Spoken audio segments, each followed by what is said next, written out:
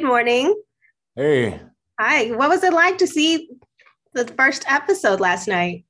Well, I saw one of them. Yeah, a couple of weeks ago, we the cast and crew in Amarillo were filming. We saw it, and that I'm glad I saw it then, so I could save some of the uh, you know the waterworks. Let leave it in Amarillo and just enjoy it now. But it was great watching it. I had my family there, I had my friends, and just with a whole new set of eyeballs that wasn't the cast and crew, and hearing their reactions, it it seems you know it seems like people people liked it. We definitely enjoyed it. Thank you. Yeah.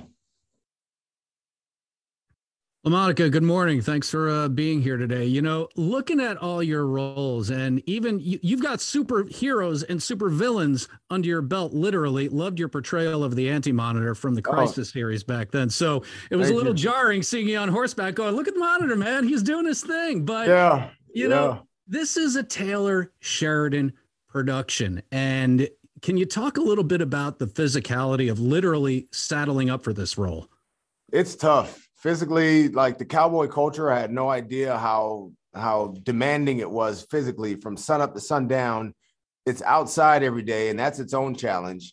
Hot cold whatever climate you're in and you're on horses and sometimes your horse doesn't want to cooperate today. They have their own personalities and that could make things tough and it's you know it's just um it's a hard lifestyle but it shooting westerns in itself is a challenge, but as hard as it is over here, it's as beautiful when it comes to the screen because it just outside nature. To me, nature was the the leading character in this show. The the mountaintops, the rivers, the and the cast fills along, you know, to to round it out. But it is it is tough.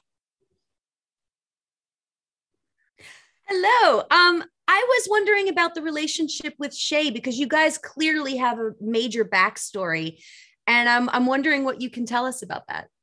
They served together in the uh, in the Civil War. Uh, but he was Shay was a he was a captain, and Thomas is a Buffalo soldier. And when the war was over, the requirements for Buffalo soldiers turned into something different than what they originally signed up for. And you know, Thomas and Shay they were like, we didn't sign up. These people aren't doing anything to us. Like they kind of, let's, it's time to leave. So they kind of went their own way and they became Pinkerton agents. So the right hand knows what the left is doing. Shay and Thomas, they could sit at a campfire for for hours and not say a word, but they're saying everything.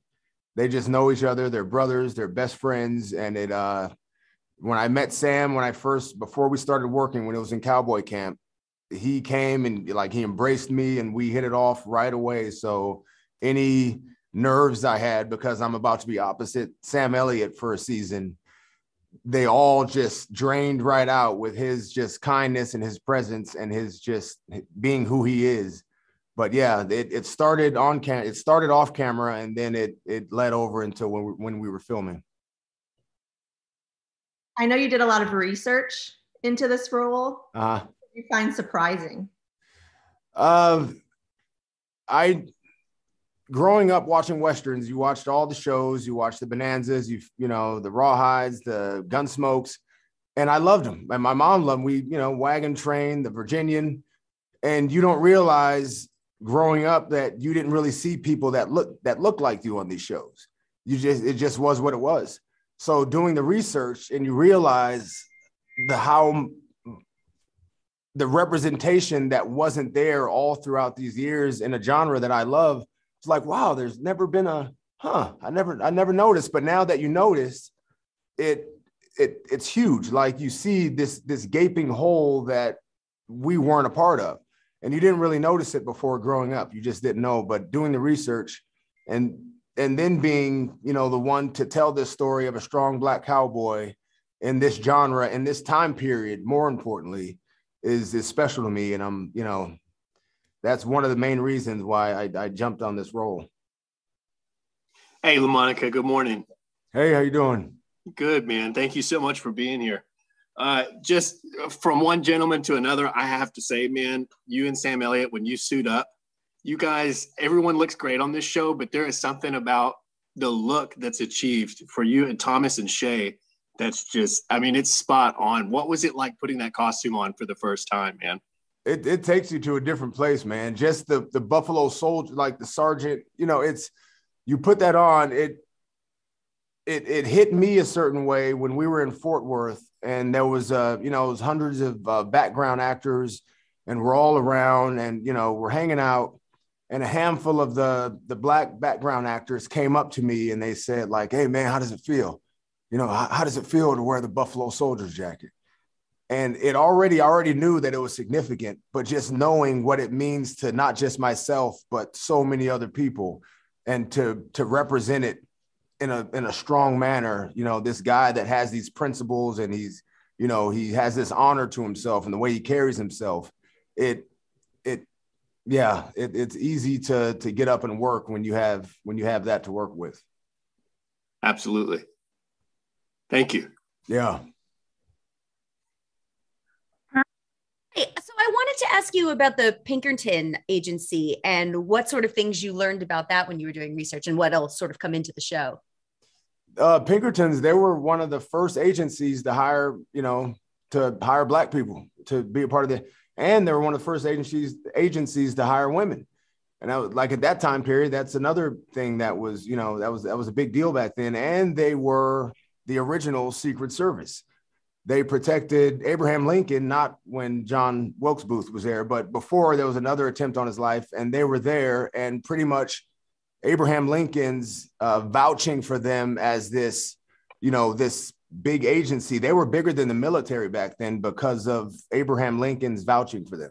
So they were huge back then, and they were they have a rich history all throughout, you know, th- this country. I didn't know any of that stuff, but yeah, that that's the research, and it's amazing. But uh, just a follow up to my previous question was you hit the nail on the head, but the history of that jacket.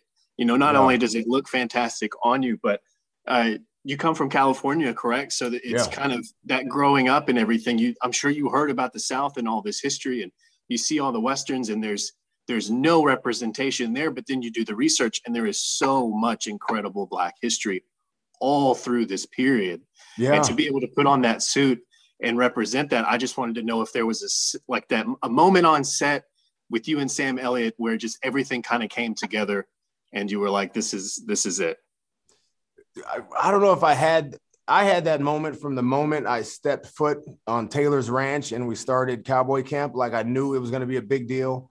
And then you start hearing more announcements, like, uh, you know, from within our little community of like, you know, this person got cast in this role.